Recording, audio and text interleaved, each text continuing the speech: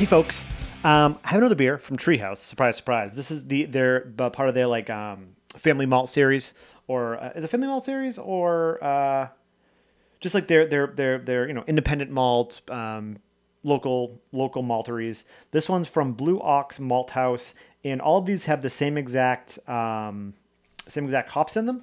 This is from uh, Lisbon Falls in Maine. Blue Ox Malthouse American IPA. Picked this up the other day. They had one more, and I was like, they, they had a mix pack at one point, and then it was sold out. And I didn't really want to buy two four packs, so maybe if I go back, I'll uh, I'll check that one out.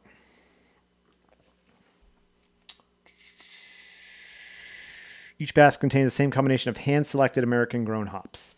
Yeah, I don't think they actually say the hops involved, but um, this beer looks gorgeous. They, they all look really pretty.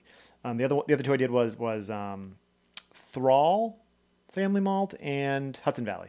Um, this looks really gorgeous in a glass. It's got like this like really yellow, nice yellow hue. Is that inside the glass? No, it's just outside. Um, yellow, bright, bright yellow hue. It looks really pretty on camera. I got about a finger of head. Still about a finger of head. Um, it's got a nose. It's like almost like orange lemon sorbet, some type of citrus sorbet. With a little bit of like grassiness, like lemon grassiness.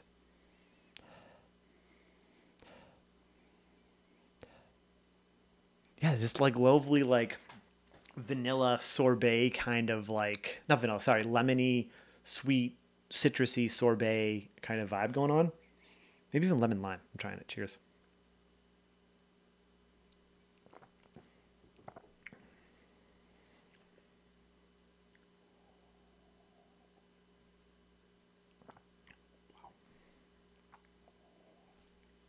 So if you didn't watch the other videos, I didn't explain, I should have explained in the beginning. Well, the purpose of this is same same hop character, different malts, right? So that they can showcase the malts. And the malt, like the last, the malt really shines through these beers. This this is the same exact case. It is fantastic. There's this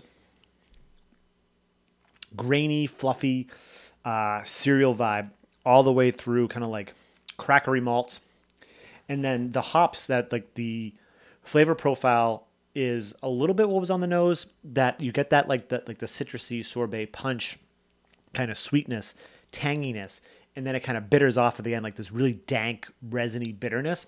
And i'm talking and it's still kind of lingering on my tongue tongue but that like lemon lime sorbet character is still kind of playing there too. I don't know what more to say about this beer. Uh, it's hard to like pick my favorite. Like the other two i i, I did back to back so it was a little bit easier but this this, this, this one's hitting so well for me. Um, I don't know. But anyways, let's read the back of the can. See if there's any tasting notes. Blue Ox Malthouse is one in a series of pale hoppy beers that feature malted barley exclusively from local boutique maltsters across across America. Each batch contains the same combination of hand-selected hops. I mentioned that. Uh, for this iteration of American IPA, we've utilized grain from Blue Ox Malthouse, a Maine-based maltster, continuing the hands-on art of floor malting. A steward of this age-old process, Blue Ox festers in interconnected relationship between farmers, maltsters, and brewers. Like hops, malted barley conveys significant terroir unique to each region in processing philosophy. We hope you enjoy the journey of this series as much as we do. Six and a half percent. Should have mentioned that. Um, it's awesome. Uh, if you guys are, if they have the mix pack, it's a no-brainer Er, no brainer to get it because it's it'll be a fun experiment for your palate. Like if you're trying to figure out like what is like, and I said this in other reviews. Everyone, every brewery ha- ha- has done a hop series, right? Like this is our beer. This is the same ingredients except we put a different hop in it, right? It's very rare. You don't really see this too much per se. So this is a, a like a, a fun little flip side of that. So like if they have the mix pack highly recommend getting it. Like it would be fun just kind of see like what's this beer tastes like with different malt. Like you kind of you'll get a better idea of uh, of what malt really brings to beer because a lot of people are like oh the, the hops is what brings beer. It's like no the malt the malt is just up is as as big of a component as as the hops.